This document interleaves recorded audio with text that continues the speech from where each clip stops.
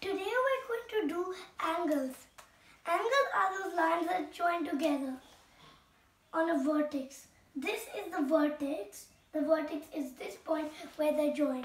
Now, this is the angle. This is the angle. This is the angle and this angle is the turn in the uh, two lines. Now we will do of angles.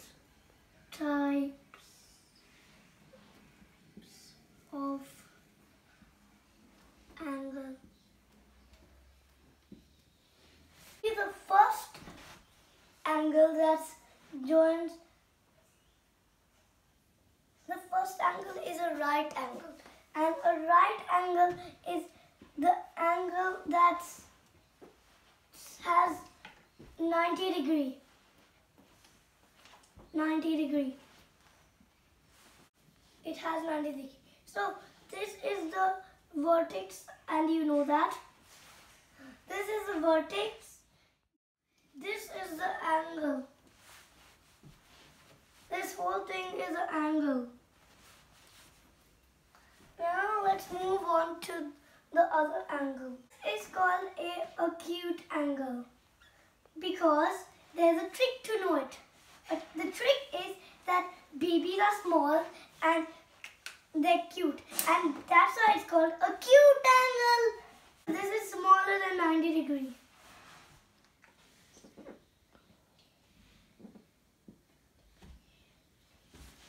This is less than 90 degree. So now we know that this is a acute angle. Can you write it? Yeah. Acute angle.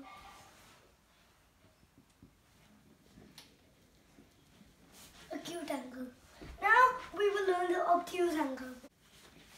So this is obtuse angle.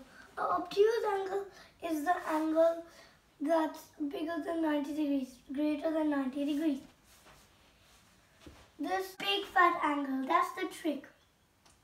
The big fat angle is a trick. Now we will revise the three angles. The first angle is the right angle. The right angle is 90 degree. 90 degree. Then it's the cute angle less than 90 degree. It's cute like a baby, that's why it's less than 90 degree. And then we've got the obtuse angle, more than 90 degree. More than 90. Then 90.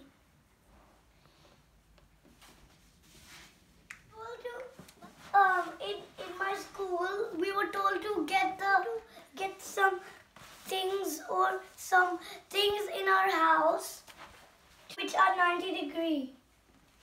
Like this one is 90 degree, it's a right angle and it's 90 degree. This is the 90 degree. This is the 90 degree.